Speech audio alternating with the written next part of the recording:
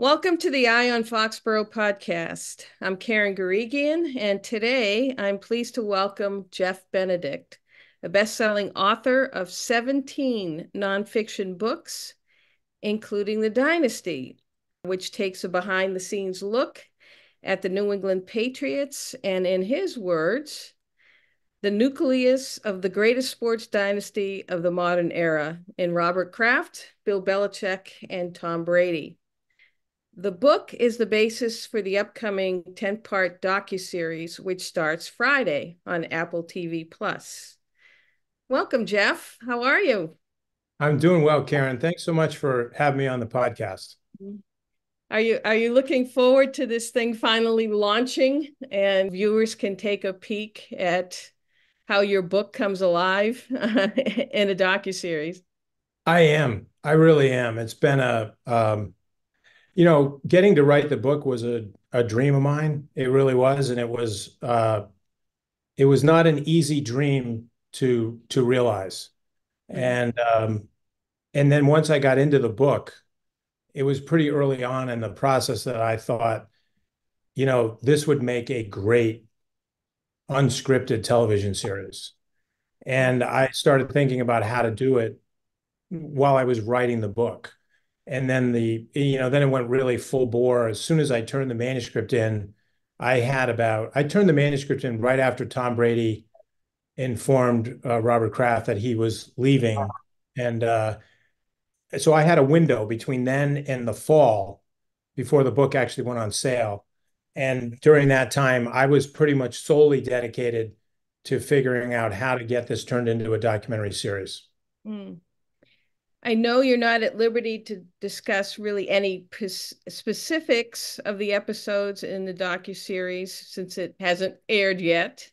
Um, so let's let's talk about the book. Um, I it's funny I reviewed it a while back, um, and it was hard not to be gripped, for me anyway, right away by the prologue, uh, which vi vividly described the scene in 2001 with Drew Bledsoe being rushed to the hospital with a partially severed artery. Uh, and in his hospital room, his wife Maura was there, along with Kraft, Belichick, and Brady. They were all huddled around him. Um, from there, you start with Brady's departure in, in a chapter called The End Game. Uh, and then you trace backwards from there, uh, from Kraft's purchase of the team, landing Belichick, all the winning and everything that's happened over the course of uh, several decades. I mean, you literally take us into Robert Kraft's living room uh, when Brady was there to say goodbye. Um, in my review, I said you were like a fly on the wall or a fly on the wall that like everyone would want to be in the places that you were what kind of access did you have in terms of writing the book? Um, so that's a great question. I had um, well as you know the majority of the book in other words the first 18 years of the dynasty took place before i arrived in foxborough. The last two years of the dynasty took place i witnessed in real time because i was inside at that point so all the scenes that take place after the summer of 18, I witnessed. And so you you made a reference at the beginning. You you said two things: the hospital scene where Drew Bledsoe, uh, you know, literally goes under the knife. Um, that happens in September of 2001. I obviously was not there for that. And so, in order to versus the next, where you turn the page, and there's a scene that's set in current time and Tom Brady is alone in his suite at Gillette Stadium looking out at an empty stadium. Yep. I was there for that. So technically he wasn't alone, but mm-hmm. for purposes of writing he was alone because I was there as an observer. And and so I there's two completely different sets of tools you have to use to write those two scenes because in the end you want those two scenes to feel the same to the reader which is as if they are there mm-hmm. and so the first thing you have to do is you want to make the writer be invisible because this is not about the writer It's never about the writer. It's always about the character. Who are the characters? In that first sequence, you have all the main characters that are going to carry the story. You have Robert, you have Bill, and you have Tom standing over Drew's hospital bed, which is a great way to signal to the reader here's where we're going. Mm-hmm. This is where we're going. Come along. In order for that to work, the, the two most important people in that sequence are none of them are Tom, Bill, or Robert.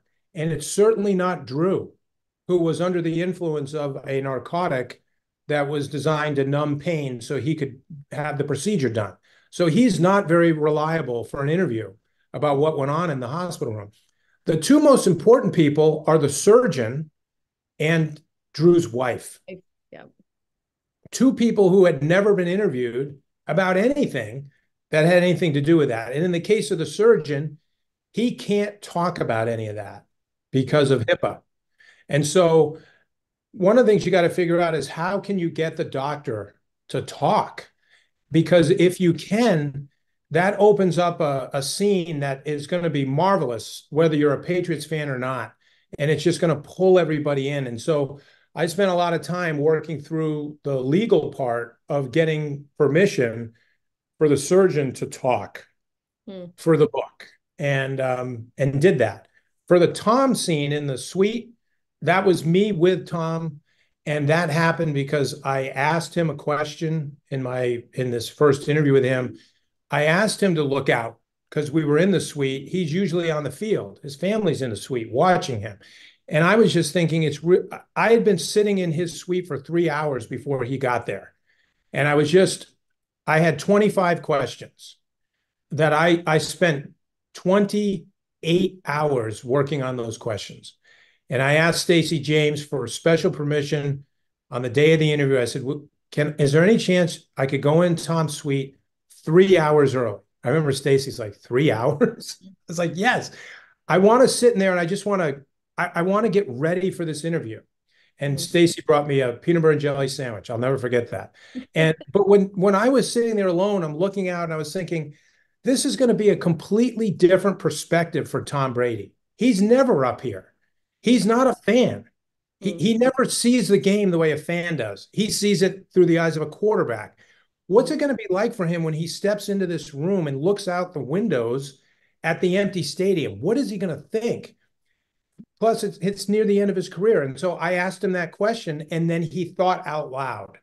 And that's what enabled me to tell you what Tom Brady was thinking. I know what he was thinking because I was there and I was listening to him process his thoughts. Mm. Uh, just so our, our viewers know, Stacey James is the vice president of uh, media relations, just to identify him. What, uh, over the course of the several years you had the, the inside access, what struck you most about each of those main characters, whether it was Robert Kraft, Bill Belichick or Tom Brady. What's your biggest takeaway from each one of those pivotal characters? They're three really complex men, mm-hmm. and they're really different people. In the case of like Tom, he actually comes from a different generation than than Robert by far. That's the biggest age gap, right? Robert's in his 80s, Tom's in his 40s. So there's some obvious differences you look at like that. But what I was zeroing in on, and because I found it fascinating, and it's a reason why I I don't usually make predictions, mm-hmm. but I'm really comfortable saying that it's so unlikely that we'll ever witness the kind of dynastic run we saw in New England, partly because of the magical combination of three guys who all were vastly underestimated at so many different points of their life. They were underestimated. Robert as a student, Robert as a business college student, Robert as a young businessman, Robert as an, a new owner in the NFL. At each step of the way, vastly underestimated, which was so much to his advantage. but also drove him. Bill was underestimated constantly. When he came to New England, nobody thought he was suitable head coach material. There were only two people, two, who thought he was Robert and Bill Parcells. No one else believed in him as a head coach. And then there's Tom, and we all know his underestimation story. And Tom loves that. He keeps that mounted chip on his shoulder his whole career.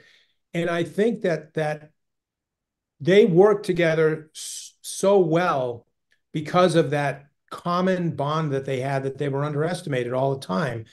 And then the unique drive they have. Um, I'm sorry, but I love Andy Reid, love him as a coach, love him as a guy. Um, supremely entertained by Patrick Mahomes. But honestly, for for Patrick Mahomes and and Andy Reid to get where Tom and Bill went, think about it. They're like a quarter of the way down the journey. A quarter of the way down the journey. It's such a long, long road. And I just the chances of anybody actually lasting that long are just it's remote. You know, a full disclosure, uh, I was one of those non-believers. Uh, I wrote uh, right after Robert surrendered the first round pick. I didn't understand it. You know, I thought, are you bringing in Vince Lombardi? Are you bringing, you know, you know, what was, what did Belichick have that was show us that was worthy of giving up a first round pick? So I yeah. wrote it. I'm now in a book of, you know, dumbest takes uh, forever. Uh, so that's good. Uh, uh, I love the thread about uh, them being underestimated. But I'd like to ask you, you know, they kept it together for 20 years. And I, am just curious why you think they were a- able to kind of keep the marriage together, the three way marriage together that long? You know, um, I- have heard some other uh, people weigh in on that question and like be way away from I think where the answer lies. And I'm not talking about people in the Boston area who've been around this story forever, like you and Tom Curran and people like that, but outsiders. If you if you really look at it, to me, it's pretty simple. It really is.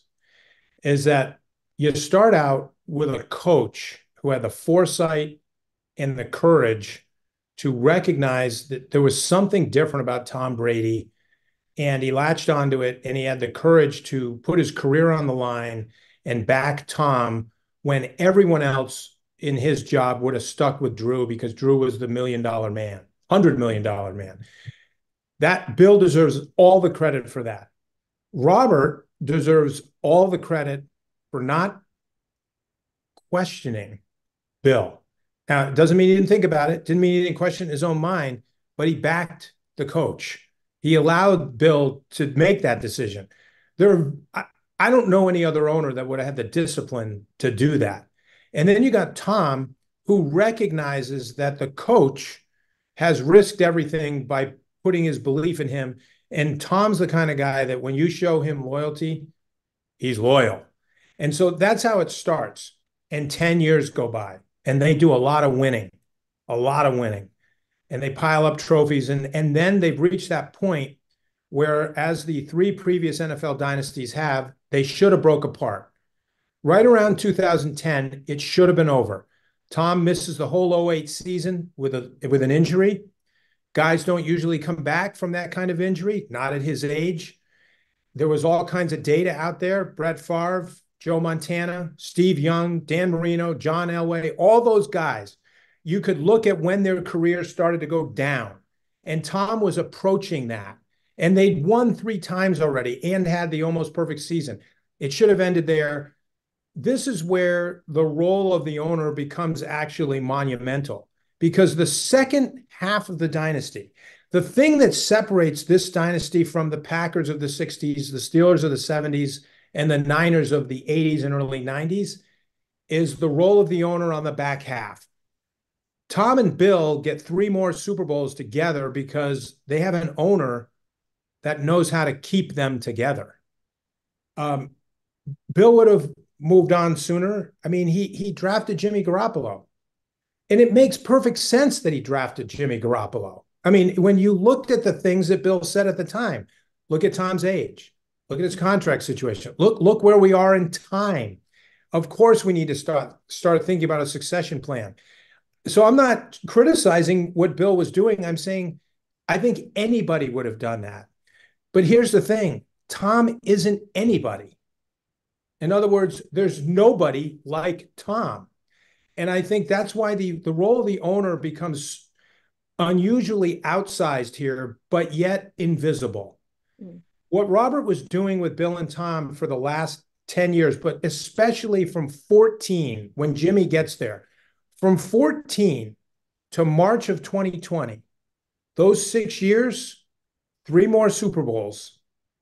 And I'm saying they don't happen if it's not for the diplomacy of an owner who knows how to work with Bill and be respectful of the lane that the coach has and work with not only the biggest star in the Patriots, but the biggest star in the NFL. And I think that that's why um, the best thing that I learned from Rupert Murdoch was when I interviewed Rupert for the book, he told me, you know, he said if Robert Kraft had, with his great Australian accent, you know, if Robert, if Robert had gone into uh, politics, he would have gone down in history as one of the greatest diplomats in American history. But he chose a different business. He went into sports. Mm-hmm. And Rupert was speaking from experience. He knows about the difficulty. I mean, he runs Fox. He's got all these big egos and big personalities. He's very familiar with the space that Robert was in. And I think there's a lot of, of wisdom in what Murdoch is talking about. Mm. You know, it's I think the the book came out in 2020, if I'm not mistaken. Yes. Uh, it's four years later. Uh, not only is Brady gone, but Belichick as yes. well. Um, knowing what you know now, uh, were you surprised how quickly, you know, the Patriots fell off the map following Brady's departure? Um, and I'll I'll let you answer that before I ask the next one. Um, I don't know. I hadn't really thought about if I'm surprised at how fast they fell off. I think probably none of us should be in the sense that you're taking the greatest quarterback of all time off your team at a time when the position of the quarterback is more vital than it's ever been in the game. Mm.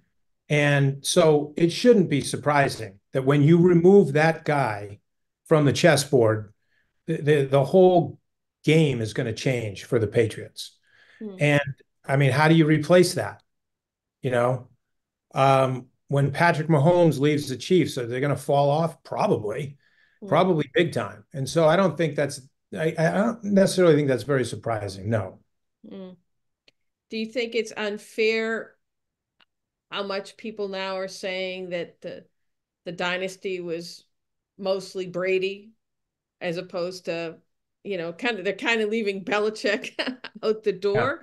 Given how he's done without Brady, do you think that's a fair narrative or, or not? I mean, what I would say about that is I think it's a it's a oversimplification. Mm-hmm. Uh, football football is not like the NBA where you really can dominate with it with it. if you have the most dominant player jordan lebron you, you can take over it's a lot harder in football. You, you know, you got 22 men on the field at a time. And so I, I think that the reason the dynasty was so dominant was because of the partnership between Bill and Tom. And this is not me being diplomatic. I mean it. I'm saying that in the first 10 years, Bill was an incredible mentor. He taught Tom the game. I'm not telling him teach him how to play football. Tell him how to play football. Bill didn't tell him how to throw a football. He, he taught him how to be a winner. He taught him what it takes to win championships, not once, but again and again and again. It's work ethic, it's preparation, it's minimizing mistakes. I mean, that's the first half of the dynasty. I think Bill deserves a ton of credit for that. Mm. On the back half of the dynasty, I think Tom is at that point he is now a complete outlier he can do anything on the field. He is now like Michael Jordan on the basketball court. He can control a game. We saw that in the Atlanta Super Bowl. This is a guy who literally does something that no one else can do. He's that good. And by the time you get to the Seattle Super Bowl and the Falcon Super Bowl, he's that guy. In other words, he doesn't need as much of what Bill gave him in 01 and 02 and 03 and 04 and 05 and 06 and 07. Tom is now doing things that are like ethereal. Mm-hmm. I mean, and and I think that, and so it it really is combination. It's it, the fact that they, if they weren't together, neither of them would have won six. There's no way. It, it's the that's what's so good about it, right? It's it's the combination. And again, I'm not trying to be diplomatic. I, I that is really what I believe is it's what I see. It is that.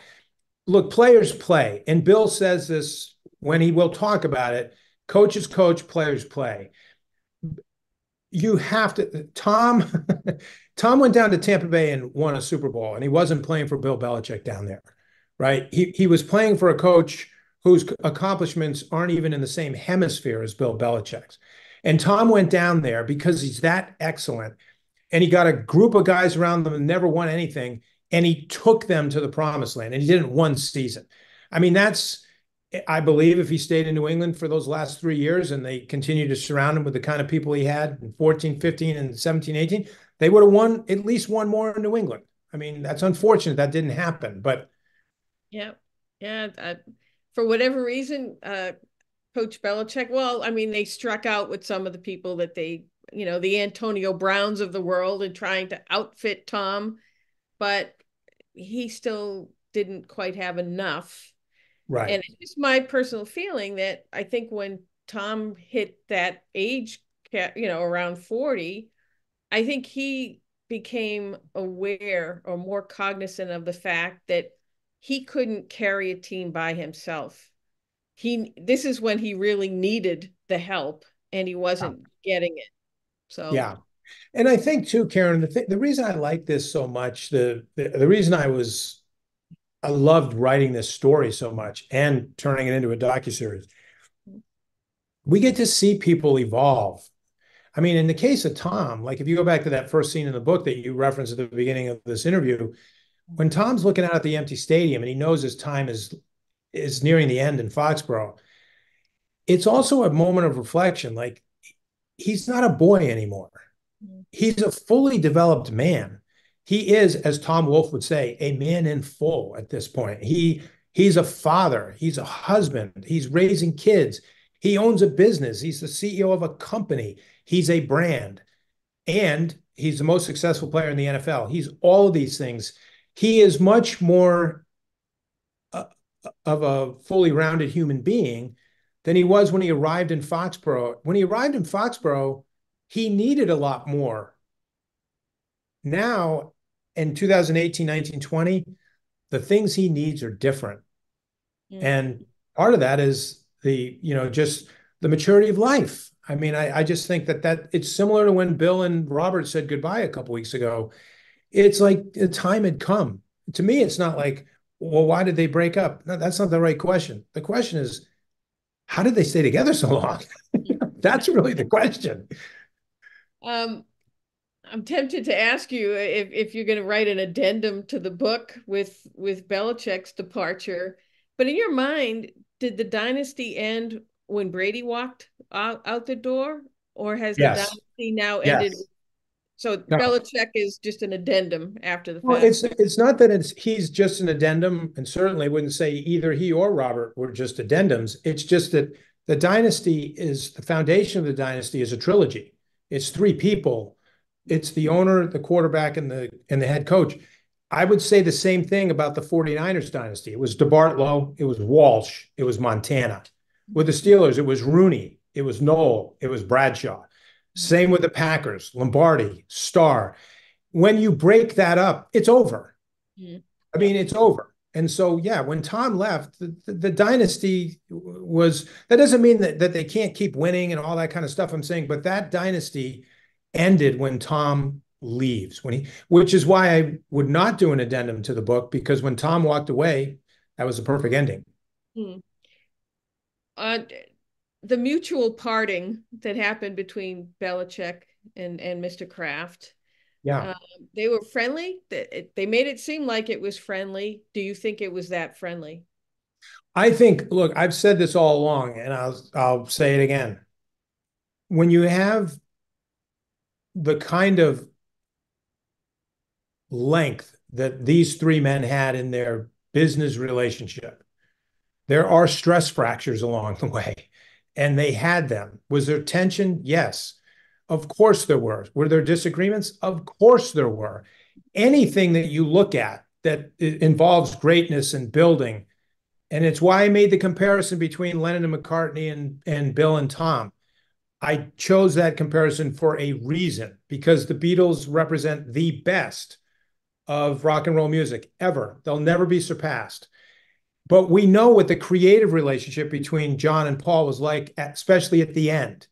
And that's what I would compare this to. And naturally, when you get away from it, I mean, when Paul talks about John now, it's with wonderful fondness. That's not surprising. And it's also not disingenuous. And I think with, with these guys, it is like that. In the moment, it's difficult. It is tense. These are men with passion. They're, they're men that are incredibly competitive. And I think what was amazing is that they never allowed differences of opinion to ever get in the way of what they did on the field. And that's why they won so much. And so, yeah, I thought what you saw at the press conference look, Bill's not a good actor. He's just not. Mm-hmm. Bill's not good at faking. And I think what you saw there is after all these two, the owner and the coach had been through, is that in the end, they did what Bill predicted they might do when he first got there and he gave Robert that picture of Babe Ruth and Ted Williams and said, maybe we could be successful as these two fellas. Well, those two fellas did that. As crazy as that sounded when Bill wrote that note, they actually did that. Like that's insane when you think about it. They actually pulled that off. And um, so yeah, I think what you saw was genuine. Um, along with being the author of the book, you are the executive producer for the docu series, which again begins tomorrow uh, on Apple Plus TV. Um, can you talk just a bit about how, trying to put that all together? You know, how'd you come up with ten parts, and you know, and then how did you gather all the people for all the the the on-screen interviewing that was done? Um, writing a book is very different than producing a 10 part documentary series. Mm-hmm. Writing a book is a very independent project. You you work alone, and it's actually lonely. You know, I spent a lot of time by myself when I'm writing a book. When you're making a documentary series, it is the opposite of that. It, there's a massive team of people. We looked at tens of thousands of hours of archival footage. I didn't look at it. The director didn't look at it. We looked at some of it, but there's a whole team of people on the production that that's all they did. It's just massive. Editors, storytellers, cinematographers, all kinds of people. And so it it, it is a team effort. But at the, the the end of the day, like the idea to do it was something that I was thinking about while I was writing the book. It was something I wanted to do while I was writing the book and something I laid the groundwork for before I finished writing. And as soon as I finished writing, I went to work on it. And I, I knew who I wanted to be involved in directing it. Um, Matt Hamachek, uh, I had worked with him on the Tiger Woods adaptation of my book into a documentary for HBO.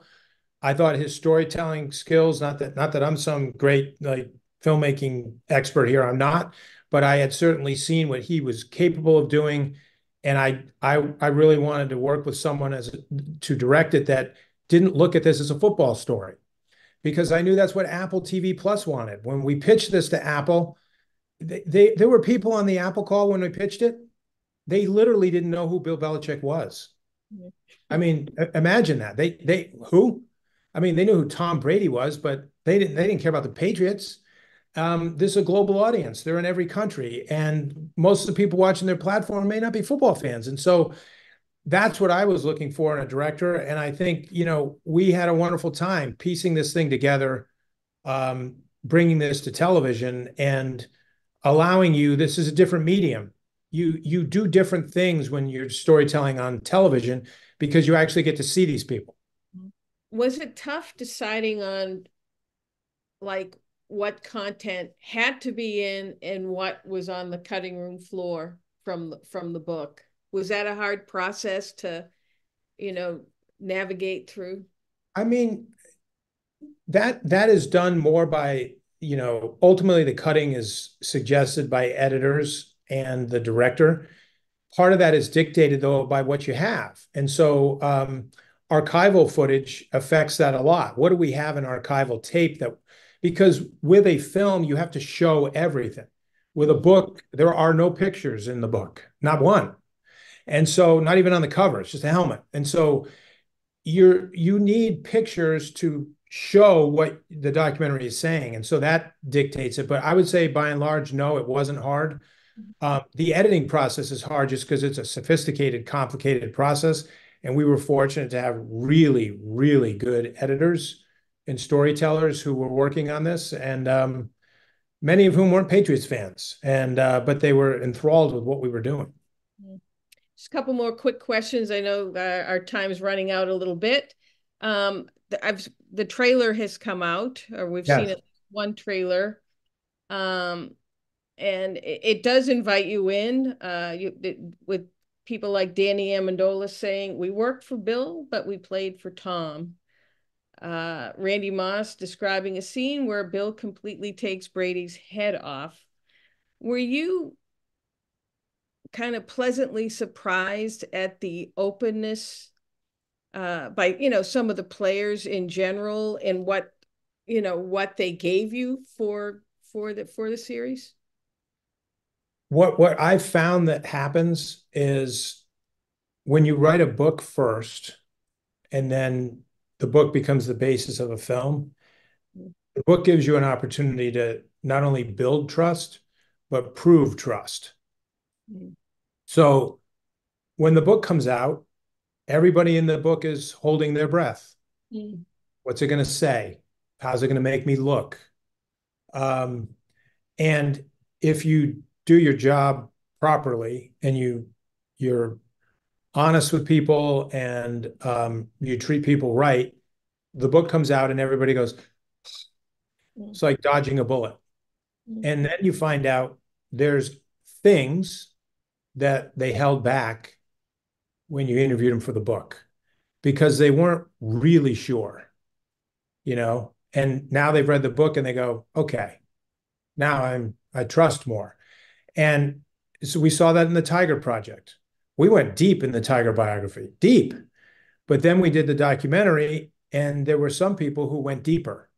And there were some people who chose not to participate in the book because they were afraid or they were not sure. And then they decided to participate in the doc because now they felt more comfortable.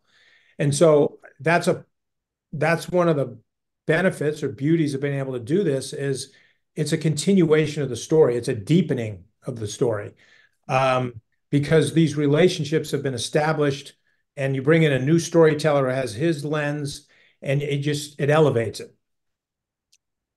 I see you wearing a Rolling Stone shirt, and I know that they're coming to Foxborough. Is there a story behind that? well, we were talking off the air before, and I, I was just thinking that um, there've been a lot of great moments working on this docu series. A lot of great moments, and um, some of them didn't necessarily have to do with the quote unquote making of the docu series. But one of the things that uh, uh, Matt Hamachek and I uh, got to do, which was terrific. Um, working with him was was was really fun, but uh, we got to uh, we were working at the stadium on the series when the the Stones came to the stadium and did a private show mm. um, at the stadium in a tent, and uh, I, I am a I can't overemphasize how big of a fan I am of their music and have been forever and to be in that small of a space and to get like within eight feet of Mick Jagger um, with my cell phone uh, was I I don't need to go to any more Rolling Stones concerts because it's hard to beat that, and uh, that happened while we were making the docu series. So uh, pretty good moment.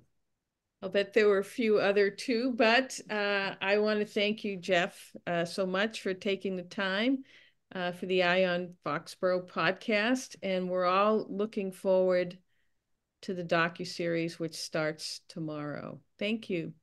Thank you, Karen.